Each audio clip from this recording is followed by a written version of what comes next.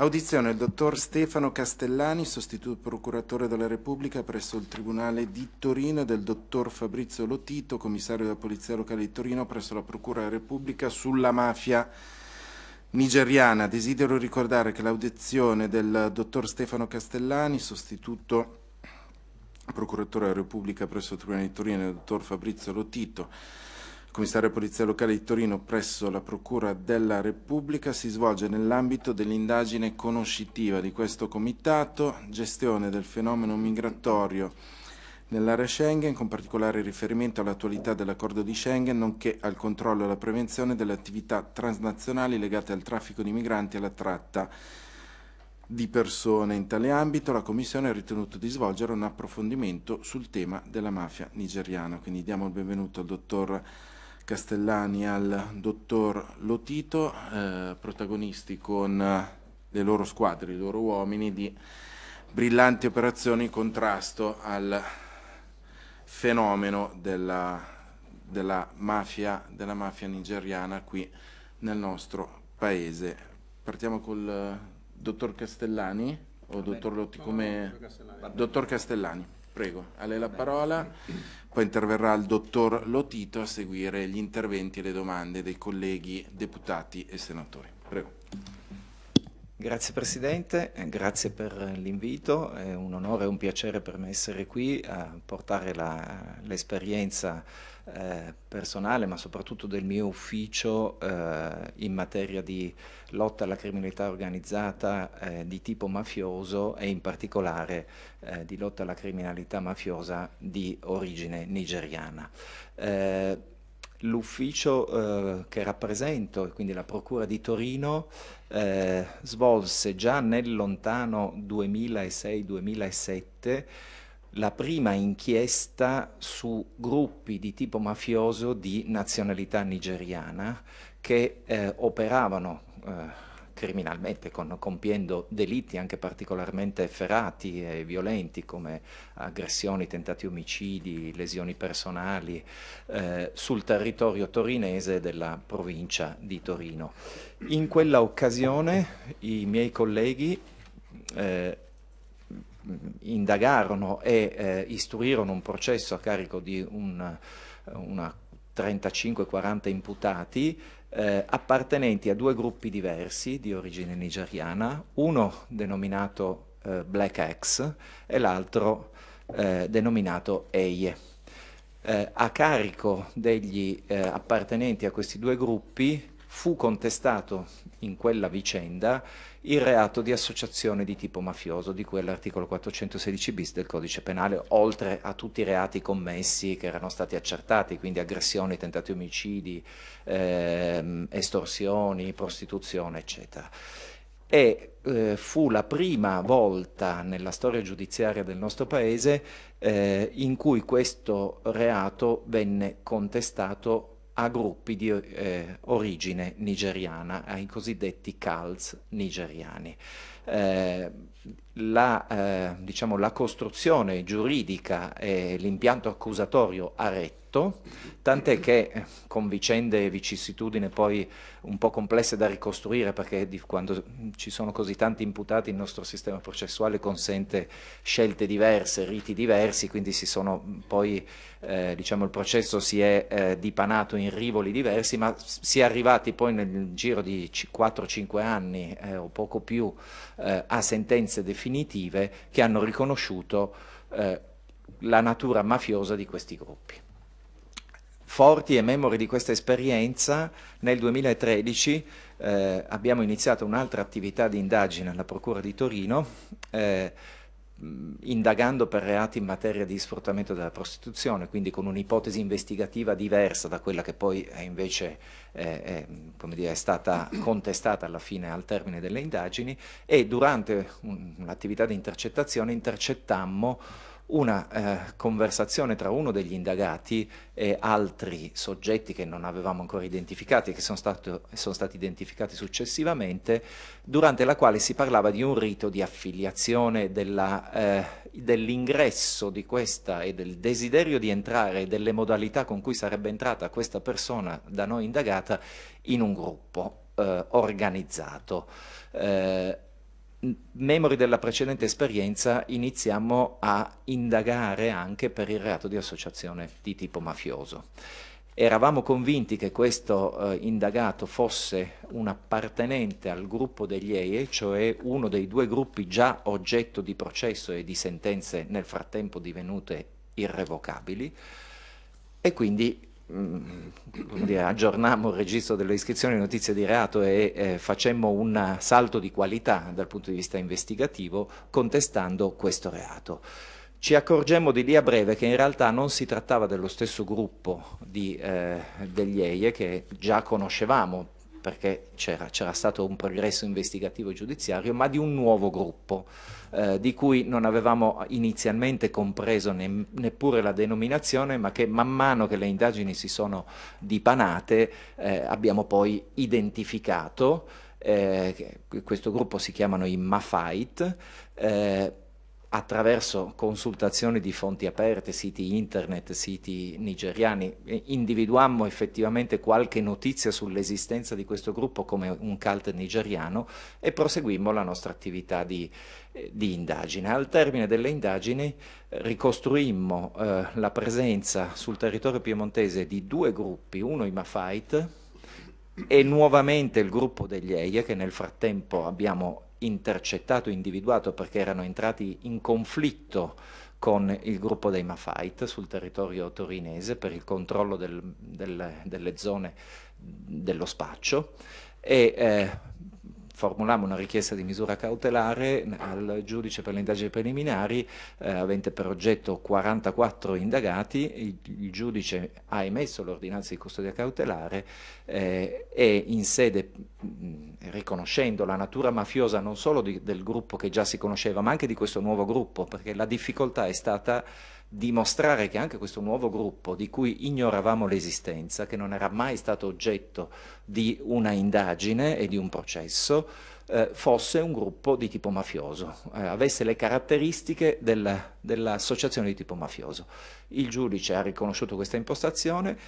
eh, abbiamo eseguito, non, su 44 misure cautelari, ne abbiamo eseguite in prima battuta poco più di 20 perché gli altri indagati nel frattempo non erano più sul territorio nazionale e il processo a carico di questi primi 20 indagati è, dovrebbero ormai essere alle battute finali con eh, la, la, sentenza, con il ricorso in Cassazione, sia in primo che in secondo grado sono stati tutti condannati per il reato di associazione mafiosa, sia gli appartenenti al vecchio gruppo, chiamiamolo così, degli EI, sia gli appartenenti al gruppo dei Mafait. Nel corso dell'attività di indagine abbiamo avuto anche la fortuna insomma, di, di eh, trattare di avere a che fare con un indagato che decise di collaborare e quindi attivammo tutta la procedura prevista eh, dalla legge sui collaboratori di giustizia per gestire questa collaborazione. Non è stato semplice perché eh, appunto, ci si scontrava anche con una certa diffidenza iniziale dello stesso collaboratore, le questioni logistiche, pratiche, operative eh, rispetto ad un eh, cittadino di nazionalità di nigeriana con eh, un radicamento meno solido sul territorio, insomma sono state difficili da gestire ma siamo riusciti a, a gestire anche questa attività e devo dire che grazie alle dichiarazioni di questo collaboratore di giustizia abbiamo, una, abbiamo ottenuto una ricostruzione della struttura e delle modalità operative del gruppo dei Malfight, ma anche di altri gruppi eh, che sono presenti sul territorio nazionale, eh, molto dettagliata. L'avevamo già ricostruita con le nostre indagini, eh, il, con, il, contributo apportato dal collaboratore di giustizia eh, certamente ha dato un impulso ulteriore, consentendo di eh, riempire quei vuoti che erano rimasti, quelle tessere del mosaico mancanti a seguito dell'attività di indagine. Eh, eh, l'importanza di questa indagine è, è stata quella di eh, apportare un ulteriore contributo di conoscenza investigativa eh, e storica al fenomeno delle mafie nigeriane. Quando si parla di mafia nigeriana si intende, in realtà, si, in realtà andrebbe declinato al plurale, perché non esiste un unico gruppo eh, di tipo mafioso, almeno sul territorio italiano, eh, ma esistono più gruppi che presentano caratteristiche tipiche dell'associazione di tipo mafioso. L'origine storica, eh, il senatore poi mi correggerà se dirò cose inesatte, eh, ehm, l'origine storica di questi gruppi è un'origine eh, che risale all'epoca postcoloniale e eh, alla eh, diciamo, e ha un'origine nobile e degli intenti assolutamente lodevoli e nobili, cioè eh, la, eh, in qualche modo l'assistenza e l'aiuto agli studenti universitari che con meno mezzi e con meno opportunità, perché non diciamo così, discendenti della borghesia che aveva avuto rapporti con, eh, in epoca coloniale, eh, e quindi gli studenti universitari meno facoltosi o con meno opportunità si, eh, hanno iniziato a fondare queste a, confraternite studentes studentesche che sono, si chiamano, vengono chiamate CALS, eh, Mm, la prima mi pare che fosse quella dei, se non ricordo male, dei Pirates, eh, i, pir i, Pirates, no? Era, eh, Pirates, poi i Buccaneer e poi tanti altri gruppi, tra cui quelli che abbiamo eh, individuato durante l'attività di indagine. Quindi nascono con questo scopo, con una, una finalità lecita di eh, ehm, solidaristica e di eh, aiuto agli studenti e alle famiglie degli studenti. Diventano, sono diventate in Nigeria col passare del tempo delle vere e proprie gang criminali eh, che esercitano il potere e il controllo all'interno dell'università, ma non solo, anche nelle competizioni politiche con forme di eh, violenza eh, particolarmente insomma, eh, eh, efferata. Eh, a livello poi in, con i fenomeni migratori, poi eh, come, capita, come, è capitato anche per le nostre mafie, eh, eh, una parte degli appartenenti a questi gruppi eh, sono immigrati eh, in Europa e hanno riprodotto quelle stesse modalità e quelle stesse forme di aggregazione delinquenziale illecita con cui hanno iniziato a commettere reati sul territorio nazionale e si sono dati la medesima organizzazione eh, che, eh, che avevano in Nigeria mantenendo i collegamenti e i contatti con, come la definiamo noi, la casa madre, in questo caso la casa madre nigeriana. Quindi in realtà non è una sola mafia, ma sono più gruppi. La difficoltà eh, giudiziaria è quella che per ogni singolo, consiste in questo, per ogni singolo gruppo, non essendo una struttura unitaria, ma essendo una struttura eh, parcellizzata con diversi gruppi, per ogni singolo gruppo bisogna dimostrare, verificare se c'è nella realtà eh, e dimostrare, raccogliere le prove e portarle eh, davanti al giudice, al tribunale, bisogna dimostrare le caratteristiche della norma incriminatrice dell'articolo 416 bis, quindi l'esistenza del metodo intimidatorio. Questa è la grossa difficoltà, per, a meno che non si inizi un'attività di indagine su un gruppo che è già stato riconosciuto eh, come gruppo mafioso, allora la, diciamo così, la difficoltà probatoria si eh, semplifica, cioè il livello probatorio si semplifica nel senso che sarà sufficiente dimostrare che si tratta dello stesso gruppo con le stesse caratteristiche e questo gruppo eh, mutuerà, proprio perché ha le stesse caratteristiche, le, eh, la natura di eh, gruppo di tipo mafioso. Se invece il gruppo è nuovo, come è capitato a noi qualche anno fa, con, col gruppo dei Mafite, bisogna ripartire da zero, cioè, o meglio, non si parte da zero perché si ha una conoscenza investigativa e storica del fenomeno, è anche un'esperienza su come impostare le indagini e quali sono le difficoltà che si incontrano nell'attività di indagine però certo eh, la strada da percorrere è, è più eh, articolata e complessa. Eh, brevemente un flash sulle difficoltà, poi sono ovviamente a disposizione per ulteriore, non voglio portare via troppo tempo in questa prima eh, così, panoramica eh, eh, sulla, sul fenomeno e sull'attività eh, di indagine eh, del, dell'ufficio che rappresento. Eh, soltanto un breve flash sulle difficoltà che eh, abbiamo incontrato nel corso di questa attività di indagine, se può essere utile anche per la natura de dei vostri compiti e per la, la, sede istituzionale in cui ci troviamo. Eh, sicuramente uno dei temi più difficili uno degli aspetti più difficili eh, quando si affronta un'attività di indagine di questo tipo è quello degli interpreti. Eh, trovare interpreti in grado di eh, comprendere, tradurre e tradurre in un italiano eh, comprensibile, eh, sufficientemente corretto, eh, non solo il broken English ma anche i dialetti che vengono, che vengono parlati nelle, e quindi questo è un problema, ovvio, è un dato oggettivo, si, è difficile trovare gli interpreti. C'è poi un, un, problema che riguarda anche, eh, forse questo è un, invece è uno spunto che mi, mi permetto così di, di, sottolineare, non so se sia la sede eh, corretta, ma sicuramente potrete farvi magari portavoce se... Oh,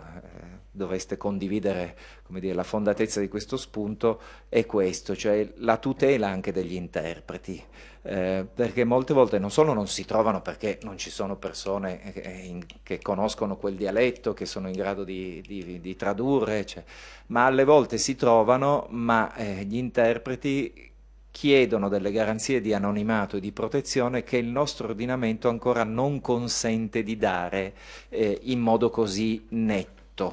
eh, poi si ricorre ad escamotage, però prima o poi il nome dell'interprete in qualche verbale bisogna scriverlo, non possiamo non scriverlo.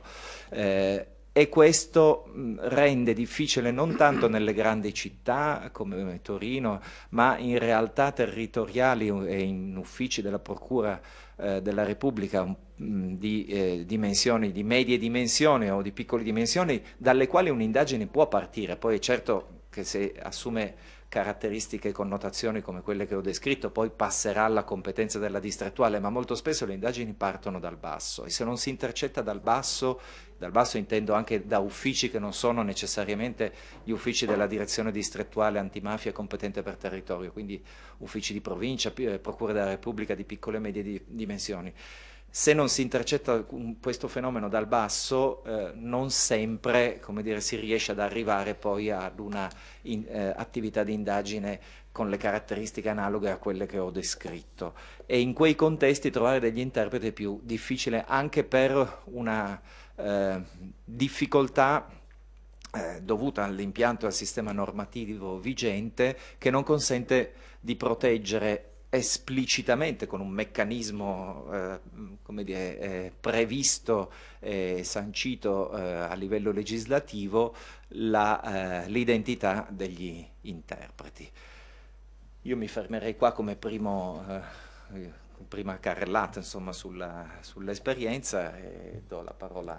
al commissario No, Grazie. No, no, Presidente, chiedo scusa per lo sgrano. ma assolutamente. chiedo scusa. Gra ma assolutamente. Grazie, dottor Castellani, è stato sintetico e,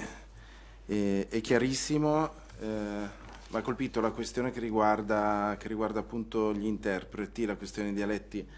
c'era stata sottoposta una tutela degli interpreti, credo, io guardo anche, anche i miei colleghi, insomma possiamo farci promotore anche in mia trasversale sul fatto di eh, insomma, proporre nella, nel, nelle sedi più opportune e competenti una, una tutela per queste persone che contribuiscono attivamente alla buona riuscita delle certo. vostre indagini e operazioni e che meritano assolutamente di essere, eh, di essere protette, tutelate ne, nelle forme più opportune. Eh, dottor Fabrizio Lotito, commissario della Polizia Locale di Torino, prego. Allora, parto dall'ultima considerazione, il dottore Castellani è stato molto esaustivente. Oltre all'aspetto di tutela delle, degli interpreti, eh, io mi faccio anche portavoce proprio di, di, alcuni interpreti che hanno rappresentato anche il, il, poco, eh, il poco, guadagno che loro hanno nelle, nelle trascrizioni di queste, di queste, telefonate. Veramente loro prendono delle cifre irrisorie che mi sembra che viaggiano sui 4 euro all'ora, perciò anche questo sarebbe un aspetto un attimino da valutare perché è, è, è, è comunque un lavoro fondamentale perché la trascrizione se non è fatta bene, poi quando si va a dibattimento gli avvocati è la prima cosa che fanno è chiedere la ritrascrizione della telefonata, perciò è, è un lavoro veramente importante quello del, degli interpreti, perciò oltre alla tutela penso che sia doveroso anche riconoscere a loro una, una cifra economica un pochino più eh, rispettosa per il lavoro che loro svolgono. Detto ciò, il dottore ha esordito dicendo che la conoscenza investigativa è storica. Ecco, la conoscenza investigativa storica è fondamentale in questo, in questo settore, specialmente per quanto eh, riguarda la mafia nigeriana. Eh, un precursore è stato il dottor Caselli, che nel 2011 ha appunto voluto creare una squadra investigativa dedicata a questo fenomeno. Squadra investigativa che per dieci anni e continua a svolgere attività investigative finalizzate proprio alla tratta di esseri umani e alla mafia nigeriana. Perciò è un fenomeno che secondo me è opportuno che venga seguito nel tempo perché le mafie, come tutte le mafie, si evolvono, cambiano, perciò eh, un blackout, un attimino di, eh, inter di interruzione da un'indagine all'altra potrebbe permettere di non seguire quelle che sono state le evoluzioni, perciò è importante focalizzarsi e continuare a lavorare, specializzarsi su quel settore. Eh, detto questo, noi abbiamo lavorato per questa indagine eh, quattro anni e come ha detto il dottor Castellani abbiamo ottenuto dei risultati eccellenti perché eh, riuscire a dimostrare effettivamente l'associazione di stampo mafiosa, per, specialmente anche per gli investigatori, è un successo perché eh, di conseguenza siamo apprezzati dalla, dalla, magistratura perché comunque poi tocca a loro andare a sostenere davanti alle aule eh, giudiziarie il, il, i reati che vengono contestati. In questa, in questa indagine sono state intercettate mezzo milione di telefonate. Soltanto telefonate più tutti gli ambientali, perciò è stato un lavoro immane, perché come ha detto il dottor Castellani vanno riviste, risentite, eh,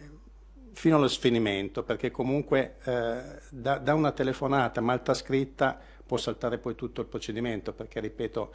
gli avvocati eh, prendono spunto proprio da una telefonata che potrebbe essere considerata non, non fondamentale, invece è importante proprio la conoscenza eh, e eh, stare molto molto molto attenti su quello, come si svolgono le attività investigative. Eh, aperto, questa, questa, indagine ci ha aperto veramente un mondo perché come ha detto Toto Castellani il collaboratore di giustizia ci ha raccontato, è vero che avevamo già chattato in fase di indagine alcuni aspetti, però quello che ci ha raccontato il collaboratore veramente ci ha lasciato un attimino basiti per come loro, questi, questi secret cult sono strutturati in Italia. Nello specifico eh, il secret cult dei Mafait, eh, che è quello che è stato più attenzionato insieme agli EIE, in Italia è composto da quattro famiglie che si sono suddivise i territori della, della, della nostra nazione per essere riconosciuti una famiglia, la famiglia deve avere mille affiliati. Perciò, solo numericamente, quattro famiglie corrispondono a 4.000 affiliati. All'interno delle famiglie poi ci sono anche dei forum, che sono delle, chiamiamole delle sottosezioni eh, più, più locali, e anche il forum, per essere riconosciuto tale, deve avere 250 affiliati. Perciò soltanto il cult dei Mafite può contare in Italia sicuramente più di 5.000 affiliati, radicati sul nostro territorio, specialmente al centro-nord dove è meno presente la nostra mafia autoctona, perché è vero che in Piemonte, per carità, c'è la nostra mafia, c'è l'andrangheta, ci sono delle basi di andrangheta molto importanti, però diciamo che sul territorio hanno più possibilità di portare avanti i loro traffici illeciti, specialmente nelle zone più periferiche delle nostre città. E anche l'organizzazione stessa all'interno di queste eh, associazioni di stampo mafiose, che sono più di una, come diceva giustamente Dottor Castellani, eh, non c'è soltanto una mafia nigeriana, la mafia nigeriana è composta da più secret cult. Quelli più radicati in Italia sono appunto i Mafite, gli Eie, i Black X e in ultimo i viking. A fronte dell'attività di cui abbiamo parlato, l'attività Ateneum, poi sono state fatte tre altre informative alla Procura di Roma, di Palermo e di Bologna. E con la Procura di Bologna, soltanto a eh, 19 luglio di quest'anno scorso, nel 2019, abbiamo concluso con la Polizia di Stato e la Procura di Bologna una seconda attività che è la Ateneum Return praticamente dove sono stati nuovamente arrestati una trentina di affiliati sempre al cult di Mafait. I reati perpetrati da queste associazioni criminali sono principalmente la tratta di esseri umani, lo sfruttamento della prostituzione e il traffico internazionale di sostanze stupefacenti. Nella seconda attività di indagine si è comprovato anche l'esistenza della mafia nigeriana nei confronti di chi chiede l'elemosina fuori dalle chiese o anche davanti ai supermercati, però è, solo stato un aspetto investigativo che dovrà essere poi confermato in sede di, di processo. Perciò eh, ormai questi, questi secret cash sono veramente radicati eh, nel nostro territorio e hanno dalla loro, come dico io, sempre i numeri, perché è una popolazione che conta 200 milioni di abitanti e per effetto della globalizzazione ormai sono praticamente presenti in tutto il mondo. Eh, ci si è rapportato anche con altre forze di polizia europee e anche loro, anche se hanno una, una legislazione diversa, una, hanno contezza della presenza di questi secret cult anche in altre nazioni, Germania, Olanda, Belgio, piuttosto che anche in Svezia e in Scandinavia. Addirittura è venuta giù una delegazione della, della Svezia due anni fa, dove nel giro di, pochi, di un anno circa ha visto triplicare eh, i nigeriani presenti nel, nel, loro, nel loro, paese. Perciò eh, la globalizzazione sta portando un attimino eh, abituati a occuparci delle nostre mafie autoctone, forse per alcuni anni abbiamo sottovalutato quelli che erano gli aspetti delle mafie, mafie straniere, specialmente la, la, mafia nigeriana. Io non, non avrei più altro da aggiungere, se avete delle domande da fare. Grazie, grazie dottor Lotito. Colleghi, ci sono interventi. Senatrice Pacifico, senatore segretario, prego. Intanto grazie per la vostra presenza perché sono testimonianze veramente fondamentali perché operative con dei risultati eccezionali, quindi io faccio proprio i complimenti per il lavoro che avete svolto. Probabilmente, mh, visto che è l'unico caso eh, nella città di Torino, nella procura di Torino, ad avere il SAT, eh, se è dovuto proprio a questa organizzazione eh, che avete voluto affidare alla polizia locale il successo del, del, delle vostre indagini, dei vostri risultati. E, detto questo, eh, volevo chiarire alcuni aspetti. E quindi avete parlato dell'organizzazione della, della mafia nigeriana, ma eh, volevo eh, una, domanda, eh, una, una risposta precisa, una domanda precisa. Allora, la possiamo, se è possibile farlo, no? questo, questa attinenza, questo collegamento, possiamo eh, collegarla alla cupola mafiosa, cioè un'organizzazione di tipo verticistico, oppure sono delle, eh, dei gruppi singoli, autonomi, collegati tra di loro, che, diciamo, per capirci, eh, ci, eh, ci, riportano all'organizzazione delle Endrine o eh, della, della Camorra? Inoltre, ehm, gli affiliati alla mafia nigeriana, quale percorso effettuano? Quello tradizionale, cioè percorrono il deserto, arrivano sulle coste e poi da lì, diciamo, insieme ad altri eh, disperati raggiungono l'Italia oppure ci sono dei percorsi alternativi? Ecco, queste sono domande mh, che cioè, mi interessano perché eh, mh, ho letto anche eh, diverse cose, le vostre dichiarazioni che sono state pubblicate e sono veramente eh, ormai una narrativa importante per capire il fenomeno, visto che insomma, siete ormai degli esperti su questo tipo di, eh, di mafia, di associazione criminale e mafiosa transnazionale. E, ehm, e poi eh, volevo sapere proprio per capire la dimensione anche eh, del, del fenomeno, se all'interno dell'organizzazione gli affiliati sono solo di nazionalità nigeriana oppure ci sono anche eh, persone che hanno una nazionalità diversa e perché questo ancora non è chiaro. Ecco, queste sono le, le mie perplessità, insomma se magari ecco, posso avere una risposta precisa. Grazie.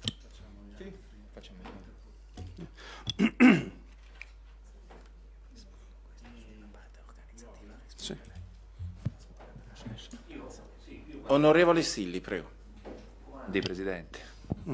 Sarò molto veloce perché la senatrice Pacifico ha dire, percorso alcune, alcune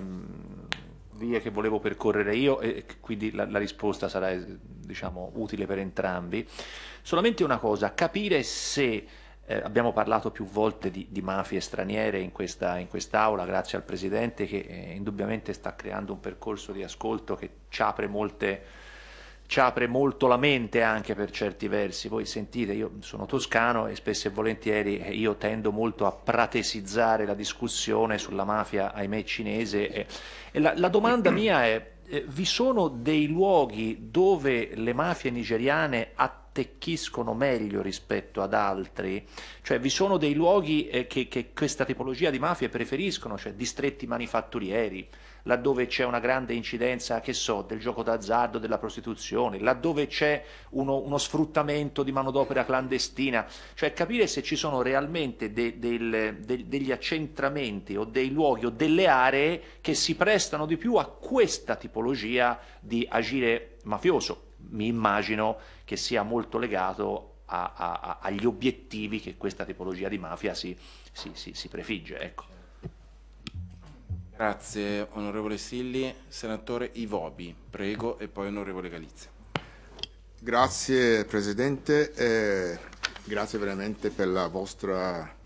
eh, relazione abbastanza esaustiva, anche perché io ho preparato una serie di domande però, eh, che avete già in parte eh, risposto, però lo faccio lo stesso anche per entrarci in merito singolarmente.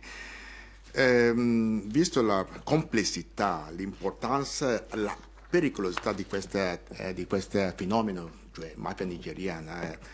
ehm, chiedo a che livello opera la mafia nigeriana, considerata la possibilità o probabilità di convivenza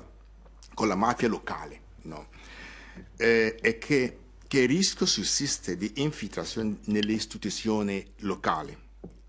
se esiste questo rischio in questo momento ormai eh, si, si, è, si, è, visto che si è si è ramificato molto in questi ultimi anni.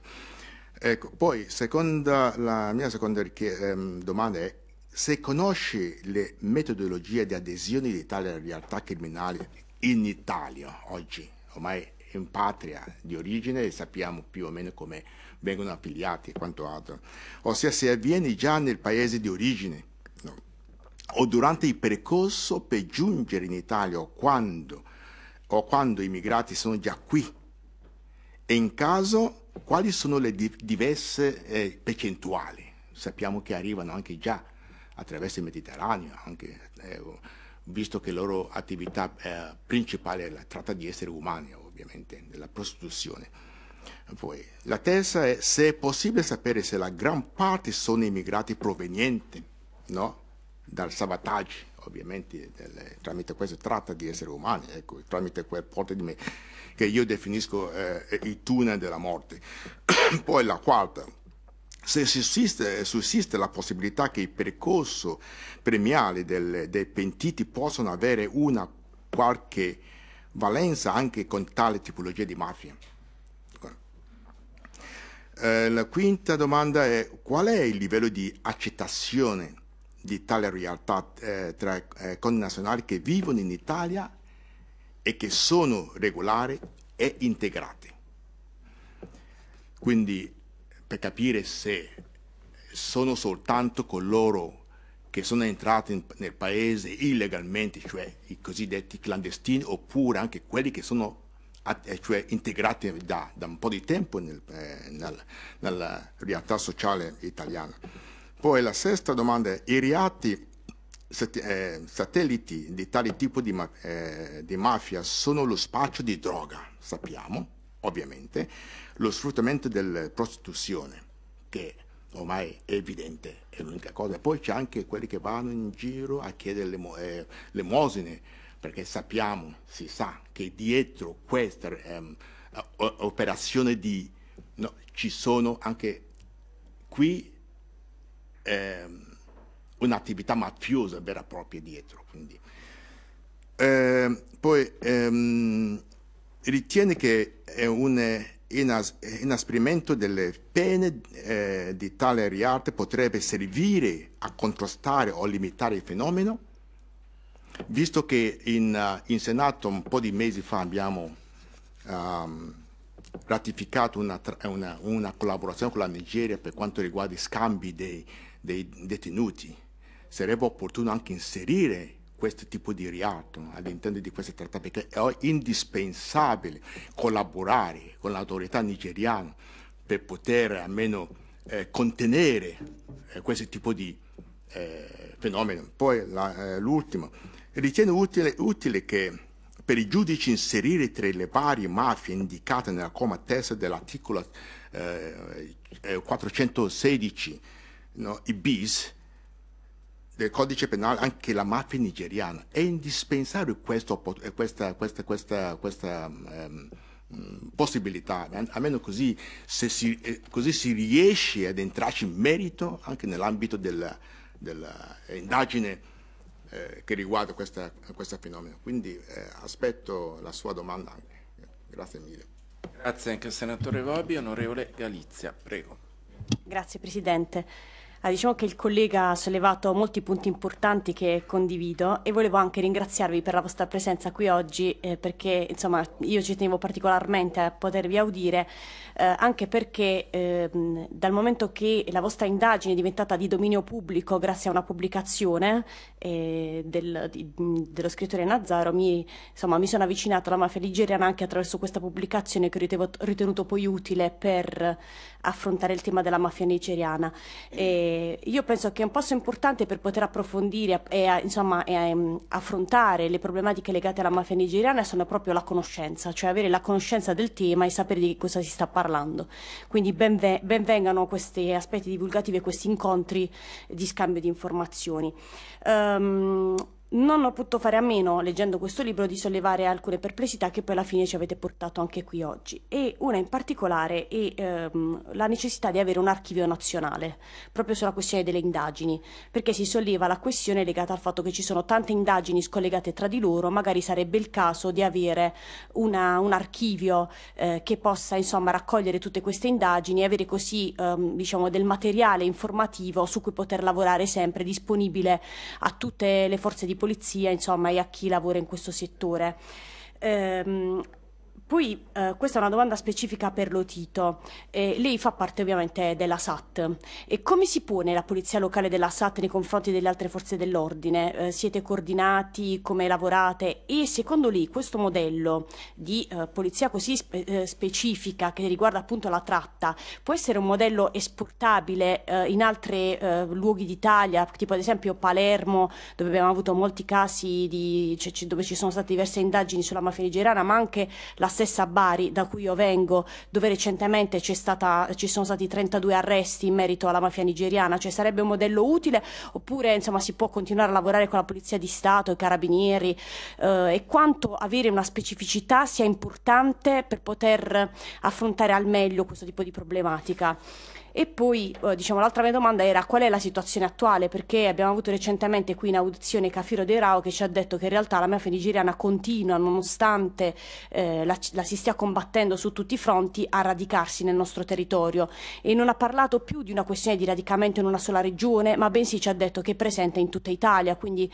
eh, quanta eh, emergenza c'è su questo tema, quanto dobbiamo stare attenti e quanto insomma dobbiamo continuare a tenere l'allarme alto sulla questione della mafia nigeriana. Grazie. Grazie capogruppo, capogruppo Galizia, io la ringrazio per aver proposto questa, questa audizione in, in ufficio di presidenza. Senatore Giuliani, prego. Grazie Presidente, velocissimo sarò. Eh, volevo sapere se siete in possesso dei dati per quel che riguarda le sostanze stupefacenti sulla percentuale di import della droga eh, portata avanti dalla mafia nigeriana rispetto ad altri canali che arrivano dall'estero. E visto che comunque già in commissione ne abbiamo parlato, mi sembra fosse proprio con il procuratore antimafia De Rao, del fatto che eh, gli individui nigeriani portano la droga con la modalità grappolo, cioè non in grandi quantità, ma ciascun individuo ne porta un pochino e se siete a conoscenza anche di quale tipi di droga sono mm, vengono importate dalla mafia nigeriana sia a 360 gradi tutte piuttosto che eroina, cocaina o altri tipi di droga. Grazie. Grazie, grazie anche al senatore Zogliani. Ehm, do la parola al dottor Castellani eh, e, al, e, al, dottor Lotito. Eh, io vi chiedo veramente che nelle vostre risposte di, noi rappresentiamo il Parlamento, Camera e Senato, di dirci veramente come possiamo essere utili per supportare il vostro lavoro sia sul fronte della, eh, della magistratura ma anche sul fronte delle, delle forze dell'ordine, della polizia locale, proprio come possiamo essere utili nel nostro ruolo di, di deputati o senatori per, per, agevolarlo e per contribuire alla, eh, anche attraverso eh, leggi, modifiche eccetera, contribuire alla, alla lotta a questi, a questi criminali. Quindi noi siamo veramente tutto il comitato, la nostra bicamerale a disposizione, e, e rappresentiamo i cittadini italiani, entriamo nelle aule, scriviamo leggi, le votiamo, diteci veramente come possiamo essere utili in questa fase, ma anche ovviamente in fase, in fase successiva se volete trasmetterci, inviarci vostre note, appunti, proposte, eh, suggerimenti siamo assolutamente a disposizione credo di interpretare il pensiero di ogni, di ogni, gruppo politico, anche qui rappresentato, di ogni, di ogni collega. Prego, dottore. Grazie. Grazie Presidente. Eh, bene ho fatto a contenere il mio primo intervento perché adesso rispondendo alle vostre domande parlerò altrettanto a lungo. Eh, grazie per le domande molto interessanti e precise e puntuali. Cerco di, me le sono appuntate, se poi ne, ne, ne salto qualcuna mm, richiamatemi all'ordine. Allora, Senatore Pacifico, le, eh, prima domanda sull'organizzazione, cioè se sia mm, parcellizzato o se abbia una struttura diciamo apicale questo tipo di mafia. Al momento, eh, diciamo, le, le, quello che abbiamo eh, potuto constatare con le attività di indagine, non solo quella mm, che ho condotto, che abbiamo condotto eh, a Torino, ma anche con quelle condotte in altre parti d'Italia, eh, anche con i colleghi ci siamo confrontati, abbiamo scambiato informazioni e esperienze investigative, al momento sono gruppi mm, autonomi, parcellizzati, che eh, hanno una struttura di coordinamento che è di re eh, recente instaurazione da quello che abbiamo appreso, queste sono tutte notizie che si possono comunicare perché sono dichiarazioni ormai depositate nei processi, quindi non c'è più segreto investigativo, sono eh, notizie apprese dalla, da, uno, da, un collaboratore di giustizia che ha parlato dell'esistenza di, un, di una struttura di coordinamento dei vari CALS presenti in Italia, che viene denominata Rainbow Club, eh, che ha il compito all'interno del quale vi sarebbero, secondo le dichiarazioni del collaboratore, rappresentanti dei vari CALS, il cui compito è proprio quello di coordinare l'attività e di soprattutto mediare e prevenire i conflitti tra di loro. Eh, non è ancora una struttura, diciamo, verticistica in grado di impartire, eh, anche perché non abbiamo ancora dal punto di vista investigativo riscontrato questa dichiarazione, non abbiamo motivo di dubitare della fondatezza e della veridicità di queste dichiarazioni, ma ancora manca poi la, la prova concreta, investigativa dell'esistenza di questa struttura, però è, è, una struttura di coordinamento, quindi diciamo che per fare un una, un parallelo, un paragone con l'esperienza giudiziaria di una mafia nostrana e dell'andrangheta, eh, siamo ancora nell'epoca pre- operazione crimine, non so se, quindi prima della dimostrazione di una eh, certa centralità e struttura verticistica dell'andrangheta, quindi siamo ancora a livello, per quello che sappiamo oggi, di potremmo dire tante endrine che operano sul territorio, che si coordinano tra di loro, al posto di endrine sostituite il termine CALT e ci mettete il nome del singolo gruppo, che siano EYEMA, Fight o Black X, ma sono ancora gruppi autonomi e separati che tra di loro entrano in relazione, in conflitto, ma anche in eh, mediazione e coordinamento attraverso queste strutture. Quindi siamo ancora in questa fase qua, almeno la fotografia degli ultimi quattro anni, poi come tutti i fenomeni sono in evoluzione, magari tra qualche anno parleremo di una cupola che coordina a livello centrale in Italia l'attività di tutti. Come arrivano in Italia? Eh, anche qui esperienza eh, concreta della nostra attività di indagine, arrivano, eh, il principale canale è quello dell'immigrazione clandestina, ma non solo, quindi arrivano attraverso i flussi migratori eh, diciamo tradizionali che conosciamo dalla Libia, dall'Africa e dalla Libia, eh, alcuni arrivano con modalità invece legali, soprattutto quelli che hanno eh, parenti o possono contare sull'appoggio di qualche eh, parente, familiare o, o amici, familiari più che altro, presenti sul territorio, regolarmente sul territorio nazionale arrivano, eh, quindi magari diventano clandestini successivamente, magari arrivano con un visto turistico e poi diventano clandestini successivamente. Quindi al momento dell'arresto, che status giuridico rilevate? Ecco, questa diciamo, è una domanda spontanea che mi arriva dalla sì. sua. Allora, in molti casi, ehm, in molti casi sono regolari, perché nel frattempo poi alcuni eh, degli indagati sono, erano presenti sul territorio italiano da 10-15 anni, quindi insomma in alcuni casi eh, si erano regolarizzati eh, parecchio tempo fa, eh, beneficiando di sanatori oppure eh, facendo il percorso insomma, di emersione dalla clandestinità. Eh, direi che siamo forse due terzi clandestini, un terzo, almeno per quel che riguarda la, eh, gli indagati e poi imputati dell'attività di indagine che abbiamo, grosso modo, insomma, due terzi clandestini, un terzo regolari. Con,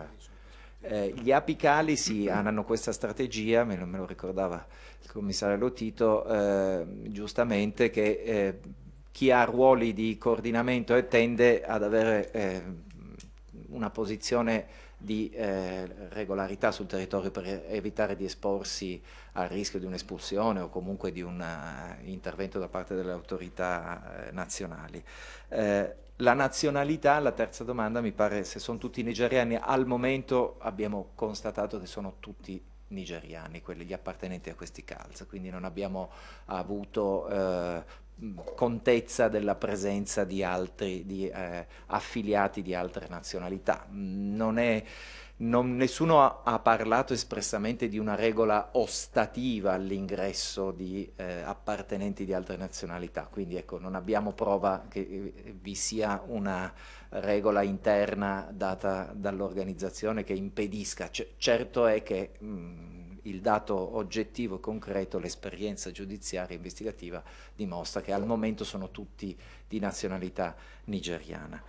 Eh, poi passando alla, invece alle domande del eh, onorevole, mi, mi, chiedo scusa, Silli, Silli, Silli mi, mi, scusi, me, me, lo sono appuntato. Eh, dunque, se esista un territorio, come l'esperienza diciamo, del distretto di Prato insegna, eh, di elezione o dove con maggiore facilità si insediano questi gruppi, eh, tendenzialmente le direi che non avendo una vocazione eh, commerciale eh, netta, e univoca o predominante come può essere per la comunità cinese che si è insediata nella provincia di Prato e in Toscana in generale, eh, la risposta è non, no, non c'è un territorio che per le caratteristiche produttive o socio-economiche sia potenzialmente più appetibile di altri, se non quello dove, eh, e quindi a parziale correzione di questa risposta negativa, quindi è un no ma, no? Cioè un no con alcune condizioni, eh, essendo gruppi dediti ad attività illecite eh, come lo, la prostituzione e lo spaccio, i grandi centri urbani, le periferie dei centri urbani, i grandi i centri urbani tendenzialmente sono i luoghi dove eh, insomma, queste attività sono più facilmente avviabili e possono essere anche più redditizie, eh, il loro esercizio può essere più redditizio, quindi eh, so, non hanno un distretto diciamo così, eh, di elezione, ehm, vanno dove c'è domanda, insomma dove c'è domanda eh, per eh, insomma, le, le, attività illecite che tendenzialmente sono eh, lo scopo e appannaggio di queste associazioni, di questi gruppi di tipo mafioso. Eh, per quel che riguarda le domande poste dal senatore Ivobi, allora a che livello operano eh, le mafie nigeriane e se vi sono rischi di infiltrazione? Allora, al momento eh, una delle caratteristiche della mafia nigeriana che la, dif lei, la differenzia, le differenzia, meglio per usare il plurale, dalle mafie tradizionali è che il loro radicamento sul territorio italiano è meno strutturato si muovono con maggiore facilità, un po' come capita spesso a, dire, ai gruppi eh, di, di, migranti che si insediano un nuovo, su un nuovo territorio, in un nuovo paese. Eh, non hanno ancora quel livello di radicamento tale che può consentire loro anche solo di iniziare un'attività di eh, condizionamento, infiltrazione dell'attività amministrativa, politica o eh, economica locale. Quindi questo è un tratto che le distingue le differenzia dalle mafie tradizionali ed è anche un tratto che per certi aspetti rende più difficile dimostrare la natura mafiosa perché una delle caratteristiche tipiche della 416 bis eh, è proprio l'esistenza di quella zona grigia tra l'attività illecita e l'esercizio del metodo intimidatorio e l'azione amministrativa, politica, economica del territorio di riferimento. Questa zona grigia ancora non è stata occupata da questi gruppi perché per le loro caratteristiche sono tendenzialmente autoreferenziali rispetto alla comunità nigeriana presente sul territorio. Quindi questa anche qui ovviamente eh, è, prego. Ah, una eh, sottovalutazione del problema, non aspettiamo che diventa prima di agire questo, in, questo, in questo ambito perché diventa, bisogna, bisogna, almeno cercare di eh, anticiparli a priori. Ecco mi ha fermato mentre stavo per dire che questa è la situazione attuale. Ovviamente, no, ha fatto benissimo, senatore. Eh, ovviamente il fenomeno è in evoluzione, quindi il, il, rischio, cioè, il rischio, è eh, quello di eh, assistere poi, se non si eh, interviene per tempo con un'azione sia preventiva sia repressiva, eh, ad un'occupazione anche da parte di queste mafie di quel territorio tipico, territorio in senso anche, mm, come dire, lato, eh, non fisicamente parlando, delle mafie, del, delle, delle mafie, cioè il rapporto con il potere in, senso, in, senso, in tutte le sue accezioni e declinazioni che possiamo immaginare nella società eh, moderna. Altro punto, altra domanda, la quando vengono affiliati e come vengono affiliati? Allora, eh, poi ogni gruppo ha la sua storia e ogni articolazione di questo gruppo ha la sua storia. Eh, il gruppo dei Mafite inizialmente si è insediato per, sul territorio italiano e proprio nella zona di Torino, eh, poi da lì si è diramato in tutto il, il paese, eh, con eh, appartenenti al, al gruppo stesso già affiliati in Nigeria. Dopo poco sono iniziate però le affiliazioni in Italia, anzi negli ultimi 5-6 anni, stiamo parlando dal 2001, 2010 fino al 2015, grosso modo il lasso di tempo coperto dalla nostra attività di indagine, forse anche un po' oltre, eh, sono sorte tensioni tra gli affiliati italiani e gli affiliati de, già dalla Nigeria, perché i primi non riconoscevano i secondi e viceversa, quindi si sono create tensioni legate proprio alle diverse modalità e ai tempi dell'affiliazione, quindi i puristi, diciamo così, della, eh, quindi chi aveva il subito e fatto il rito di affiliazione in Nigeria non riconosceva eh, gli affiliati spuri in qualche modo che, che sono stati invece eh, avvicinati e inseriti nell'associazione in Italia. Eh, oggi direi che eh, le affiliazioni vengono fatte nella stragrande maggioranza dei casi in Italia perché sono gruppi eh, presenti sul territorio da più di dieci anni e quindi il loro radicamento comincia ad essere eh, sufficientemente solido e strutturato per condizionare anche poi le modalità di affiliazione che avvengono in Italia. Eh, quindi direi che la percentuale adesso sia in, il rapporto si è invertito, adesso non sono in grado di darvi una percentuale precisa, però potremmo dire due terzi e un terzo per non sbagliare, insomma per tenerci in quei due terzi ormai sono affiliati in Italia e un terzo invece sono ancora la vecchia guardia che mantiene dire, quel marchio più puro di origine che deriva dall'essere stati affiliati nel paese di provenienza. C'era una domanda mi pare più o meno analoga a quella sui percorsi migratori a cui ho già risposto, insomma i percorsi migratori sono quelli eh, tendenzialmente tradizionali dell'immigrazione dall'Africa alla Libia, eh, salvo qualche rara eccezione di percorsi diciamo legali o mh, mm, quasi legali, insomma. Di... Eh, scusa. Um, recentemente c'è stato alcuni arresti nell'Emilia Romagna, una, un arresto che è condotto da, da um, forze dell'ordine, cioè il nostro forze dell'ordine italiano è con Aeroport, cioè forze dell'ordine eh, tedesca e uh, francese, quindi presumo che in, queste, in questo ambito ci sarà, esiste un archivio unico per tutte la realtà eh, de, che riguarda il fenomeno. Le rispondo rispondendo alla domanda eh, sull'archivio unico che mi pare sia stata fatta dall'onorevole Galizio, giusto? Eh, così mi riallaccio e seguo il filo delle vostre domande. Eh, l'importanza dei pentiti per questi fenomeni assolutamente eh, no,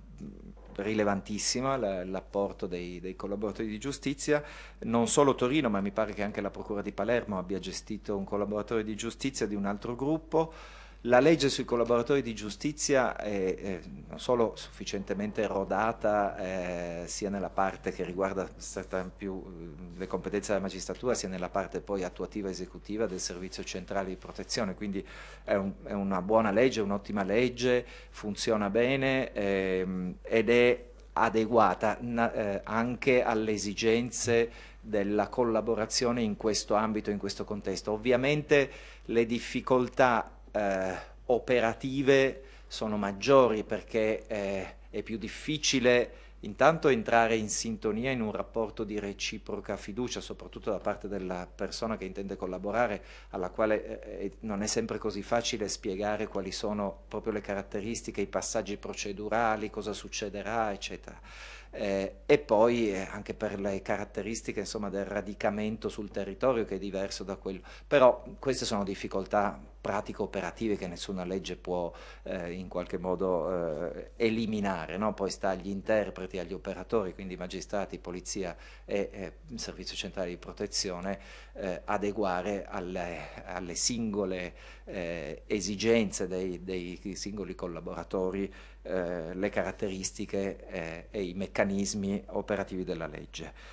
Se, questa, se, le mafie sono in qualche modo accettate, qual è il rapporto tra la mafia nigeriana e la comunità locale? Certamente il rapporto eh, e le, diciamo, il manifestarsi eh, e l'efficacia del metodo intimidatorio è evidente sulla comunità illegale, cioè sulla comunità che è, è nigeriana presente sul territorio in situazioni di illegalità o clandestinità, perché in, in, questi contesti è molto più facile da parte dell'organizzazione esercitare la forza di intimidazione. Non abbiamo mh, ancora assistito, però forse eh, capiterà anche questo, a,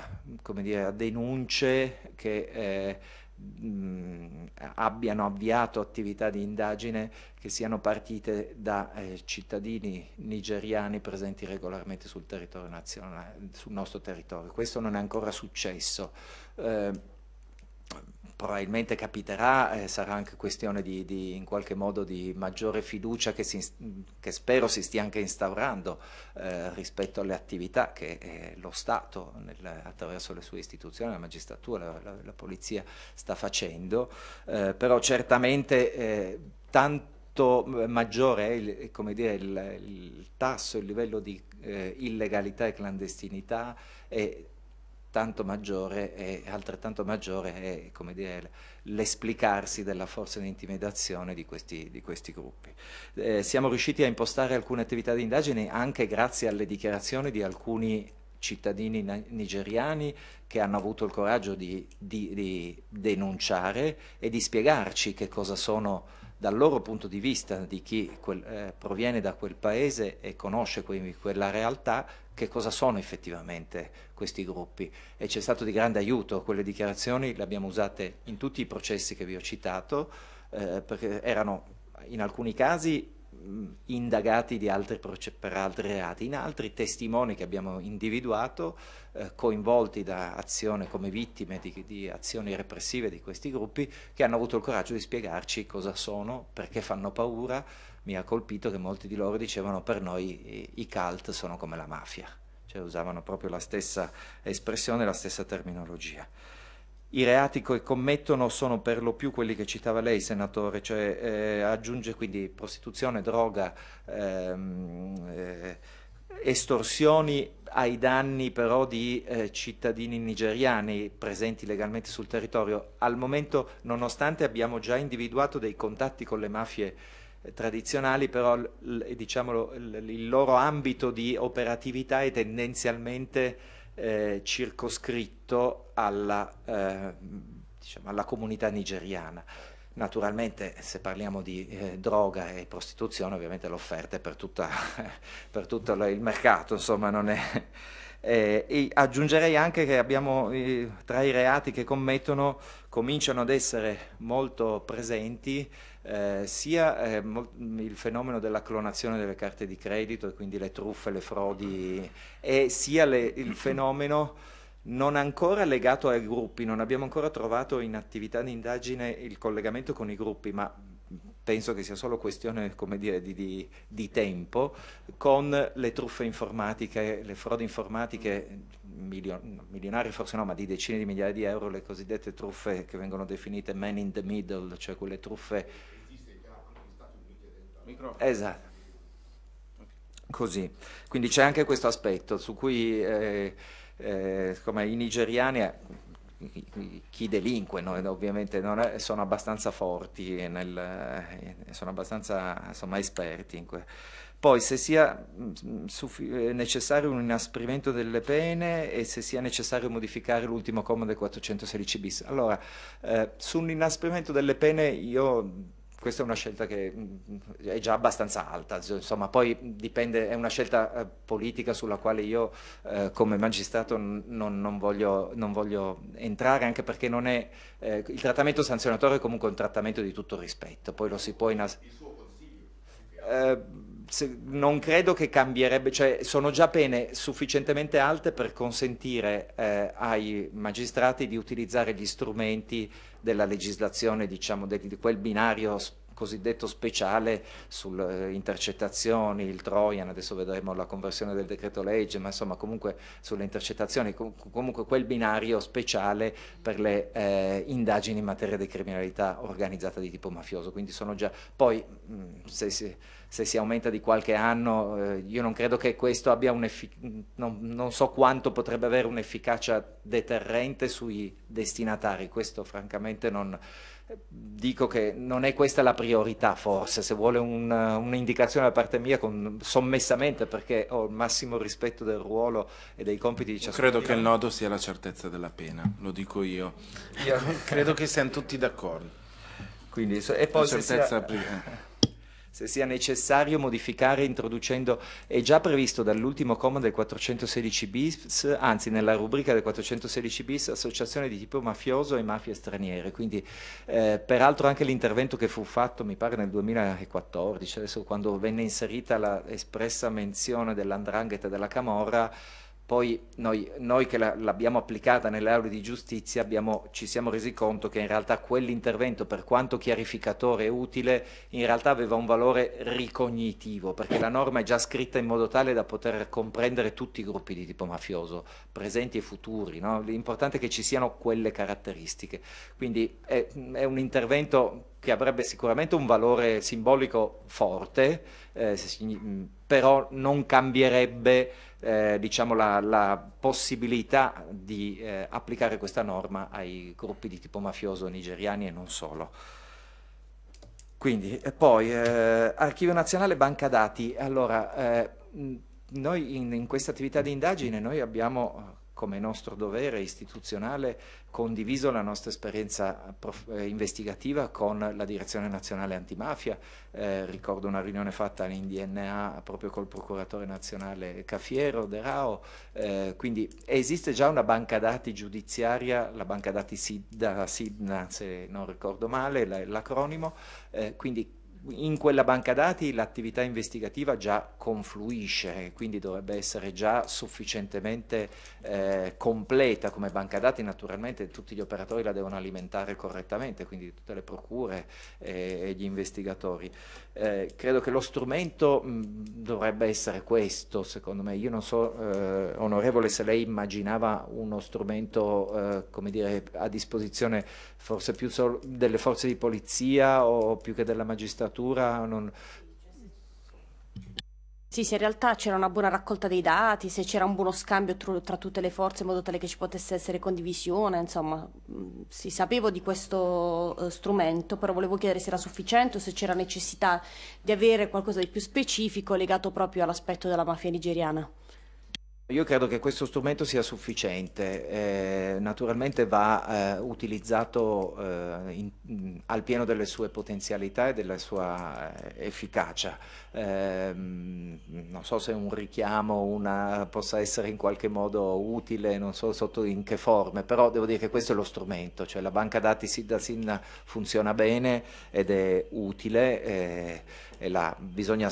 continuare ad utilizzarla, a, alimentarla, a implementarne eh, il contenuto e l'utilizzo. Eh, per quel che riguarda, eh, onorevole, lei ha citato il procuratore nazionale antimafia e non posso che concordare con quello che diceva il procuratore Caffiero e, e continua a radicarsi sul territorio eh, no, questa, questa mafia, queste mafie. Eh, l'azione di contrasto secondo me ha già fatto fatto, ha già maturato, poi non è mai sufficiente, l'attenzione non va mai abbassata, non bisogna mai eh, dire, sedersi sui, sui risultati, sugli, al, che siano all'ori o meno, ma comunque sui risultati eh, ottenuti, eh, però devo dire che la conoscenza del fenomeno è abbastanza eh, solida al momento, c'è condivisione, eh, in direzione nazionale antimafia abbiamo fatto più riunioni su questo, tu, su questo, tema, abbiamo scambiato le reciproche informazioni, ci siamo coordinati, poi io sono tendenzialmente un ottimista, quindi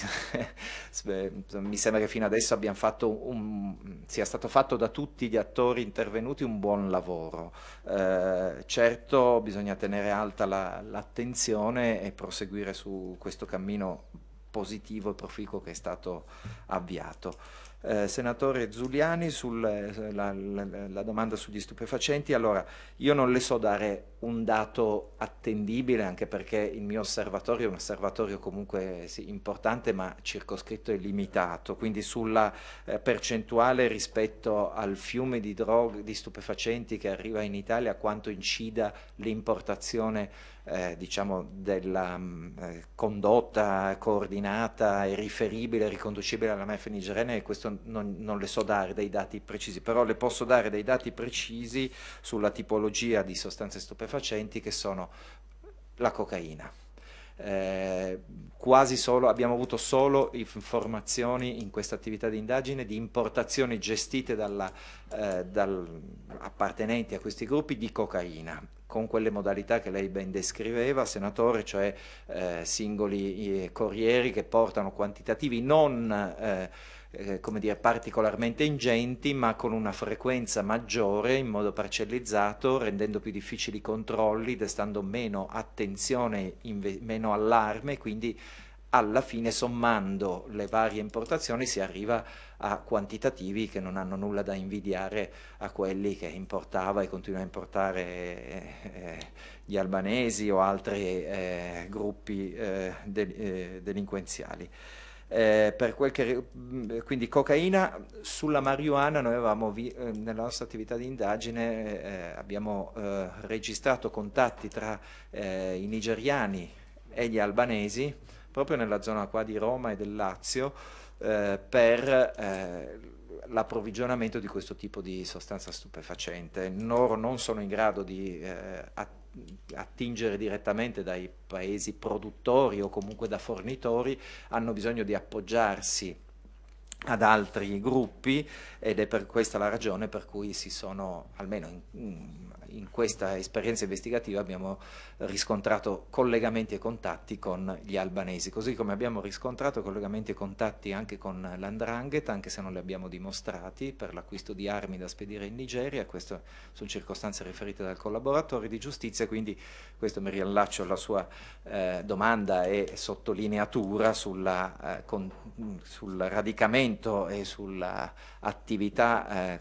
che, che continua a, a, dispiegarsi da parte di questi gruppi e questo purtroppo è un indice che è un dato che conferma questa, questa valutazione. Infine, raccogliendo la sollecitazione del Presidente, suggerimenti sugli interpreti abbiamo già detto, eh, quello che a noi come autorità giudiziaria, a me come autorità giudiziaria, a noi come magistrati della, inquirenti, eh, è mancata è la collaborazione con le autorità eh, giudiziarie nigeriane. Adesso so che di recente, mi pare sia di quest'anno, di qualche mese fa, un protocollo di intesa eh, tra la Direzione Nazionale Antimafia e eh, la Nigeria per la presenza, eh, non so per quanto tempo, mi pare che sia previsto un, so, un, anno o due di un magistrato di collegamento nigeriano che sicuramente ha già portato un contributo utilissimo al, eh, certo che ecco, anche per raccogliere un po' lo spunto del, del senatore, ehm, del senatore Ivobi, eh, potenziare la cooperazione, gli accordi e le intese eh, con la Nigeria sotto il profilo della cooperazione giudiziaria, di polizia e giudiziaria. Questo per noi sarebbe fondamentale. Noi, eh,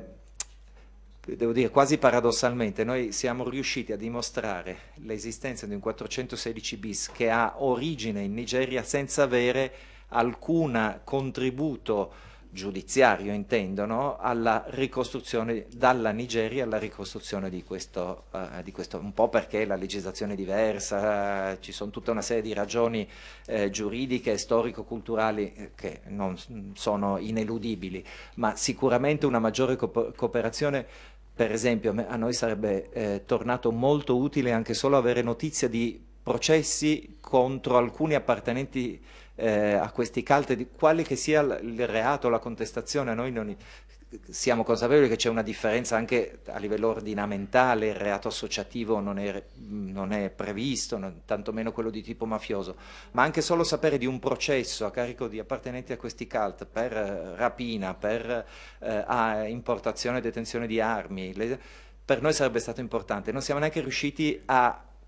capire a chi potessimo chiederlo, no? un po' forse per eh, anche errore o incapacità nostra, ma certamente mancava un interlocutore eh, affidabile, eh, riconoscibile al quale rivolgersi. Questo per noi sarebbe fondamentale. Grazie, grazie. Eh, sarà nostro ed è nostro impegno rappresentare al Parlamento e al Governo eh, soprattutto queste ultime esigenze che sono state, che sono state manifestate. Io personalmente ho incontrato due volte l'ambasciatore nigeriano eh, qui in Italia e mh, mm, anche dai corrispettivi mh, mm, parlamentari. Eh, abbiamo anche ricevuto un invito per una missione, eh, per una missione in Nigeria. Eh, la questione della, di una maggiore collaborazione con le autorità giudiziarie eh, chiederemo magari anche un'audizione del, dell'ambasciatore qua in comitato e sottoporremo questa, questa esigenza che c'è stata assolutamente manifestata. Io volevo anche aggiungere che la Nigeria, e guardo il senatore Ivobi, eh, non è solo questo, fortunatamente, e, e una, aggiungo una, una, considerazione che è ovvia, però eh, ci teniamo tutti eh, tutti veramente, appunto il legame d'amicizia tra i due paesi, come detto il rapporto con l'ambasciatore è assolutamente forte. Ehm, e sono sicuro che i, tanti nigeriani per bene che sono presenti sul nostro suolo italiano con noi vinceranno insieme questa battaglia contro, non uso termini inappropriati per queste, per queste stanze, per questi criminali che rivolgendo anche un pensiero magari torna, io penso quando torno dall'aeroporto di Linate percorro eh, anche la sera di notte alcune strade per arrivare a casa mia e rivolgo il pensiero a delle donne che vedo per strada, ascoltando i racconti anche del procuratore antimafia, ascoltando eh, anche i vostri, anche le testimonianze e penso a queste donne costrette a prostituirsi e, e a cose che ho scoperto anche facendo il deputato che nei loro paesi d'origine sono minacciate, eh, ricattate attraverso eh, insomma, i loro familiari che subiscono, subiscono minacce e quindi loro qua sono costrette a, a, prostituirsi e parliamo proprio di tratta di esseri umani e di, di, di, di sfruttamento di queste, di queste donne. Tutto questo, per tutto questo noi lottiamo con i fratelli nigeriani per bene che, che vivono nel nostro paese. Onorevole Silli, poi eh, sì. voleva aggiungere... No, devo due risposte. Poi abbiamo, io direi al massimo no, 10 minuti, un quarto d'ora perché alle 16 c'è una relazione del Premier in aula sì. alla Camera, ci sono le commissioni. Prego. Sì, 30 secondi perché è stato anticipato, parlo proprio di questioni terra-terra, eh, non di filosofia politica. Il Ministero della Giustizia è diciamo, il Ministero ha detto alle cosiddette tariffe dei CTU, dei quali fanno parte i traduttori, ve lo dico perché è la mia professione, io mi occupo di ben altre cose, ma le tariffe sono le stesse, è roba ferma veramente agli anni 70-80. N- nessuno rischia la propria incolumità per fare una perizia giurata in un processo penale per 4 euro all'ora per questo, Presidente, secondo me già due righe del Presidente della Commissione, supportate anche, perché no, da un lavoro trasversale della nostra Commissione, potrebbe quantomeno eh, dare un, una sorta di abbrivio positivo a una revisione di queste tariffe, perché sa, un conto è quando uno fa una perizia in un, in un fallimento di un'azienda, come nel mio caso, e rischio poco, un conto è quando eh, eh, con la, la, la, traduzione giurata si manda in galera un capomafia, eh, insomma è indubbio che poi le ritraduzioni siano, siano abbastanza eh, normali. Ecco. Diamo incarico agli uffici e tratteremo la questione in ufficio di presidenza e se ok valutiamo il testo e poi trasmettiamo al Ministero della Giustizia. Eh, prego. Sì, solo due precisazioni per eh, proprio il discorso della poca collaborazione che c'è tra le forze di polizia italiane con quelle nigeriane. È vero che esiste l'Agenzia Nazionale per la, il divieto della tratta di esseri umani, NAPTIP, nata nel 2003 in Nigeria. Eh, personalmente io ho provato più volte a contattare NAPTIP e non abbiamo mai avuto nessun tipo di risposta. Tranne una volta, ed è significativo questo, si trattava di, lo faccio come un esempio per far capire degli aspetti un po' particolari, tranne una volta che indagando su un omicidio commesso ai danni del fratello di una ragazza vittima di tratta,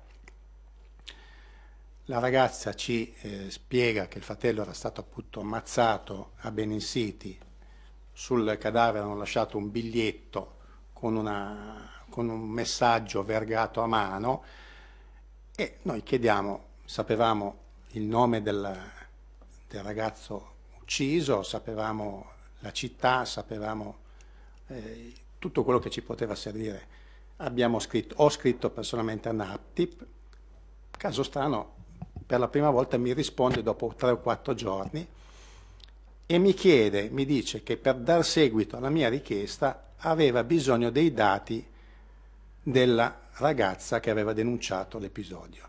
Allora, questo io gli ho risposto nuovamente dicendo che i dati in loro possesso erano più che sufficienti per darci quello che avevamo chiesto